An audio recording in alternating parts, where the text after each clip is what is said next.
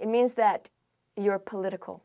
To travel along the yogic path is another way of describing someone who is committed to political activism. We shouldn't be afraid of, of being political. I have to tell my students that sometimes because we've been conditioned not to mix religion and politics.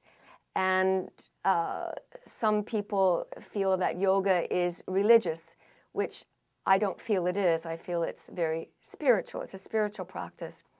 But still, there's this conditioning about mixing spirituality or religion and politics.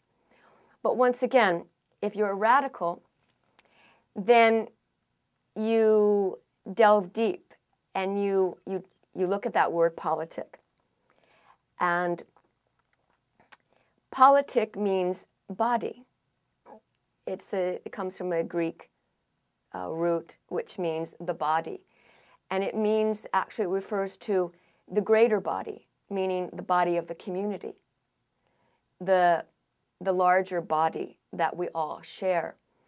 And so the term political originally meant to be political originally meant that you cared. You were somebody who cared about the greater community and wanted to contribute to the happiness or well being of that greater community.